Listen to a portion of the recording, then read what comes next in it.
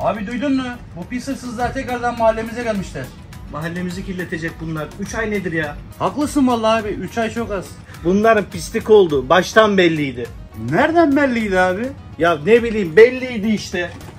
Kolay gelsin abi nasılsın? Sizi gördük kötü olduk. Ben şu kasayı saklayayım. Ne olur ne olmaz. Niye kasayı saklıyorsun abi? Neyse boş ver. Şuradan iki tane su alalım. Ver parasını da çıkıp gidelim abi.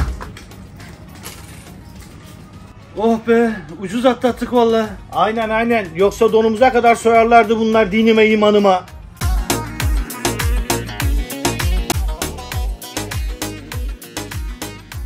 Kolay gelsin bakkal efendi. Ne haber? Ne yapıyorsun? Oo ağam paşam hoş geldiniz. Sefalar getirdiniz. Sizi burada görmek ne şeref ne şeref. Abi keşke şerefi de geçseydiniz. Bırak yalakalı. Akşam bizim eve bol bol nevale bırakın. Emrin başım gözüm üstüne derhal ne demek? İyi iyi. Hadi kolay gelsin bakkal efendi. Vay be gördün mü abi analar ne yiğitler doğuruyormuş. Doğru söylüyorsun. Zamanında kıymetini bilemedik şunları. Allah başımızdan eksik etmesin bunları. Amin amin.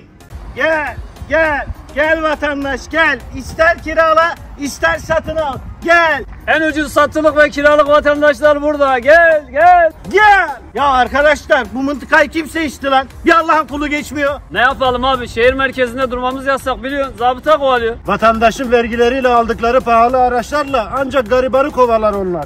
Ne diyelim adalet bu memlekette sadece kadın ismi olarak var. Ha haklısın abi ya. Benim anamın adı da Adalet. Kiralık ne kadar, satılık ne kadar? Değişiyor abi. Senin ne kadar paran var? Çok fazla yok üstümde. Abi üstünde fazla para yoksa satın alamazsın ama belki birini kiralayabilirsin. İyi tamam kiralık da olur. Tamam abi olur. Ne yapacağız peki?